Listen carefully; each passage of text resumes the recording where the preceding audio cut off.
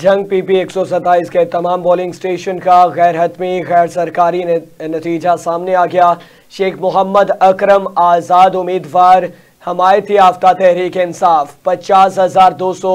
बत्तीस वोट लेकर पहले नंबर पर रहे और इसमें मसरूर नवाज़ आज़ाद उम्मीदवार उनतालीस हज़ार नौ सौ सात वोट लेकर दूसरे नंबर पर रहे हैं और राशिदा यकूब शेख, उम्मीदवार मुस्लिम लीग नून, सोलह हज़ार दो सौ सात वोट लेकर तीसरे नंबर पर रही हैं।